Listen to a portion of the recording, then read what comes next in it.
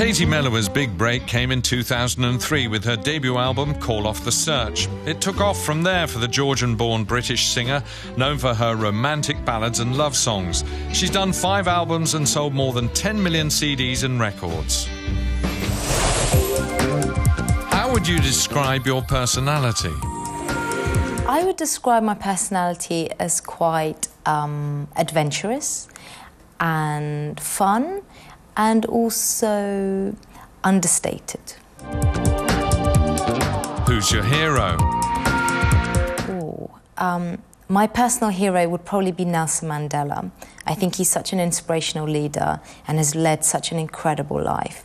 I was very lucky enough in 2004 to be able to perform a concert for his 4664 concert, and that was a very special moment to me. What's your biggest temptation?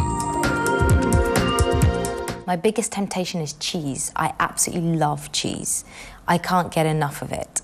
It's very bad for the figure, so I try not to eat too much, but I really like my cheese. What's your philosophy of life? Life philosophy? My life philosophy is to always look at things from a different point of view.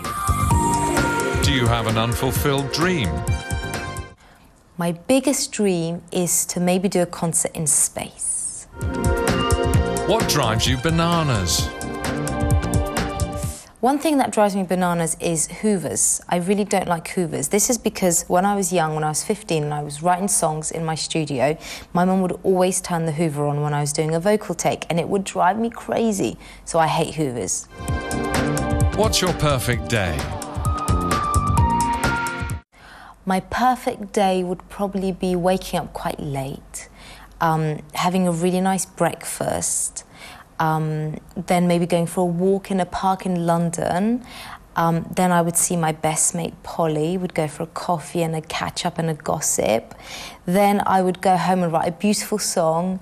Um, and then in the evening, I'd go and see an amazing undiscovered band in some cool gig in London.